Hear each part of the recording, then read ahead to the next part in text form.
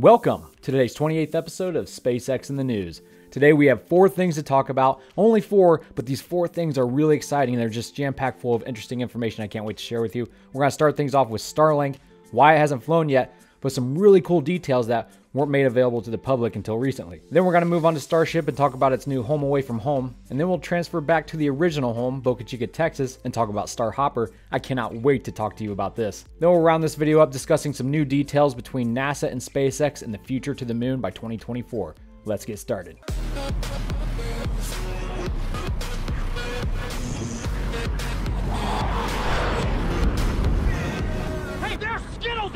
So, about a week ago, the Falcon 9 booster that's supposed to take the first 60 Starlink satellites in orbit around the Earth rolled out to the launch pad for its static fire. And the interesting thing about this is that they static fired this Falcon 9 booster with all 60 Starlink satellites on board. Now, this is a big deal because they haven't done something like this since the 2016 catastrophe of Amos 6, when the Falcon 9 rocket blew up on the launch pad during fueling and the entire payload on board was lost. But it makes sense for SpaceX to do this during the Starlink mission because Starlink is SpaceX tech. There are no customers on board to severely disappoint, if you will. And refueling a rocket on the launch pad with the payload on board is probably something that SpaceX wants to get back into the habit of doing because they have Crew Dragon coming up in the very near future when they're going to do that with actual people sitting on the rocket. You know, build some confidence in the public and NASA as well. Best to get it back down now with confidence before we start putting people back on board. Capiche? But still, this was a really big gamble. I mean, check out Elon's tweet of these Starlink satellites. It took some mega Tetris skills to get all those in there.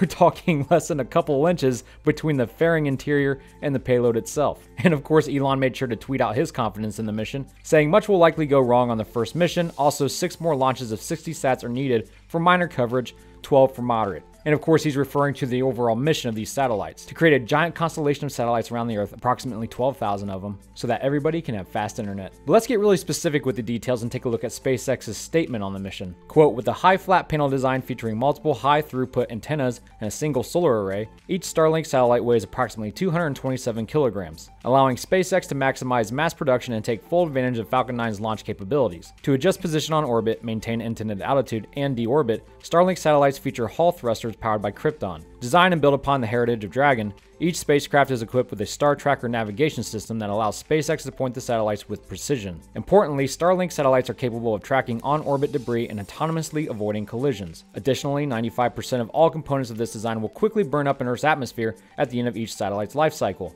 exceeding all current safety standards, with future iterative designs moving to complete disintegration. Alright, that's a lot of information, so let's quickly summarize. This will be the heaviest payload that SpaceX has ever put up into space. We're talking about 40,000 pounds. Elon tweeted that if all goes well, each launch of 60 satellites will generate more power than the space station and deliver 1 terabit of bandwidth to Earth. That's right, he said each launch. Now keep in mind, this is just the first launch of many down the road, and these first 60 satellites aren't even everything Starlink is supposed to be. They are workable prototypes, if you will. If we're talking in terms of hardware, you could say they're not totally stacked. And speaking of stacked, guess how the rocket's gonna deploy all the satellites? Like a stack of playing cards. These satellites are just, they're just in there. They're not attached to any decoupler kind of mechanism in this payload bay. So the way that they plan on releasing them is by rotating the payload with the Falcon 9 second stage, and as they rotate it, that centrifugal force will push all the satellites outward. So SpaceX said that when these satellites deploy, there's a chance that they might bump into each other, but it's okay because they had that in mind when they designed them. Maybe they can use the Hall effect thrusters to kind of navigate them away from each other, which I'm sure is what they plan on doing. And the most likely reason SpaceX decided to go with the Krypton-based Hall thrusters instead of the Xenon is because while Xenon is more efficient, they are way more expensive as well. And if you don't know what a Hall effect thruster is, it's just an ion engine accelerated by an electric field. Now, if you're the type of guy that's just like, come on, Kevin, get down to the brass tacks. How fast a bandwidth are these satellites going to put out? Well, apparently they're going to have a combined bandwidth of 1 terabit per second or 125 gigabytes a second, averaging around 17 gigabytes per satellite. Now, the Falcon 9 booster that's supposed to lift these things off the pad has flown twice before. This is supposed to be its third launch. It's supposed to attempt a landing on the drone ship Of Course I Still Love You, but it won't be as close to shore as the previous mission. A heavier payload, of course, means it's going to really be pushing it out there, so it's going to land on the drone ship really far away. In fact, that really far away is 385 miles downrange, which means the booster is going further horizontally than the satellites are going vertically. Now, if you were paying attention and tried to watch the launch on the 15th, you probably noticed that the rocket didn't go anywhere. And that's just because there are unpleasant high level winds. So SpaceX scrubbed and pushed it another 24 hours, but then scrubbed the launch again just seconds into their live webcast. And that's just because SpaceX wanted to double check and triple check all the software going on with these satellites. So they'll be trying it again next week, and of course, we'll be there to try as well. And during my coverage of their live webcast, I'll be giving away a LEGO Saturn V rocket. So if you tune in and watch the launch with me, there's a chance you could win this thing. But one last thing about the Starlink mission is that Elon Musk said that it was a way to generate revenue to develop more advanced rockets and spaceships. He said Starlink is a key component for establishing a presence on the moon and Mars. So really there's more at stake here than just fast internet. And speaking of Starship, let's transition there now. Although it may not seem like it, things are starting to really ramp up with the development of Starship.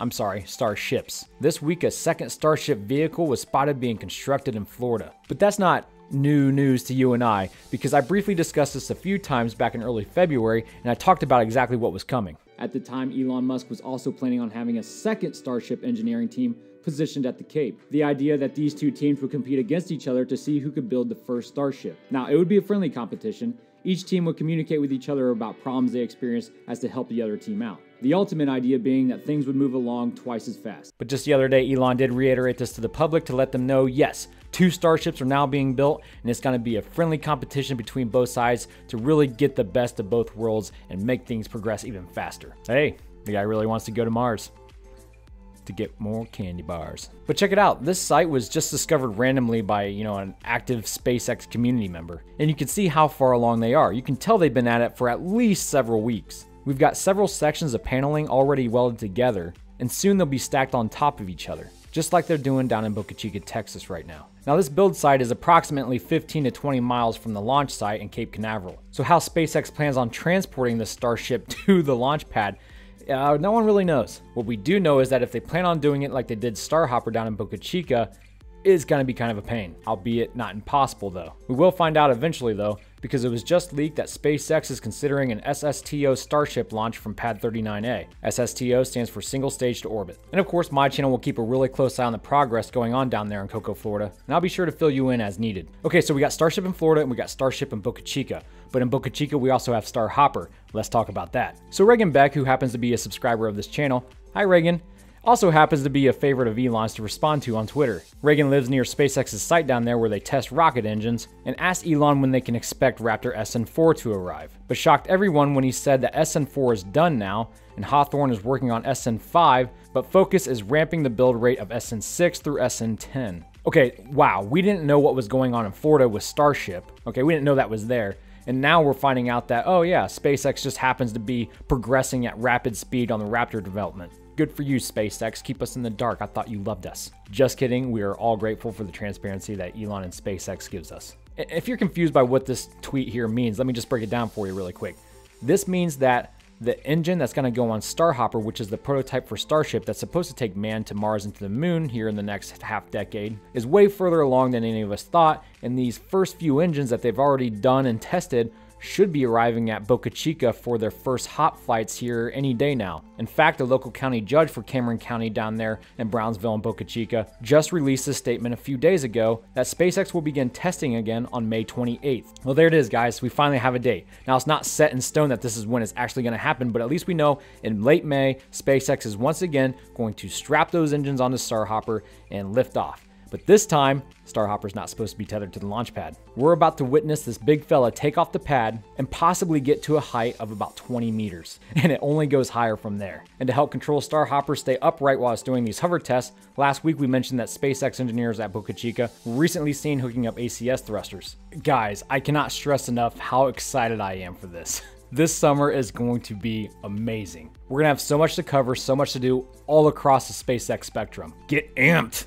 I demand it. But let's finish this video out with some talk about the not so distant future. As I'm sure you are all well aware, NASA has a plan to get people back to the moon by 2024, and they just tapped 11 American companies to help make this happen. NASA just received 1.6 billion in revenue from the White House and provided a total of 45.5 million to 11 different space companies that include SpaceX, Blue Origin, and of course Boeing and Lockheed Martin for six months of their time to research and perhaps build rough prototypes of vehicles to get us back on the moon. SpaceX specifically is one of the companies that will be tasked with proposing a lunar lander. Here's a list of all 11 of those awardees and the tasks they've been assigned to complete by NASA. Well, that's all I have for you guys in this episode. Thank you so much for watching. If you liked it, then prove it. Hit that like button. Also, subscribe. Be part of the family. We're nice here. One of us. One of us. God bless you guys and Godspeed. Do you have too much money? Not know what to do with it? Can I just say, you should give it to me. And in return, I will gift you exclusive access to more cloud licking content. How does that exactly work, you might not be asking? Well, it's easy. You just check out the description below, you know, down there below the video, and you'll see a link to my Patreon account. Click it and it will take you right to my Patreon page where you can see all the different memberships that you can join under. Read the rewards for each and choose the one that's best for your licking. I mean liking. It's a great way for us to grow this channel by allowing us to create better content more often. So give it a try and be part of the adventure, and I'll see you over there.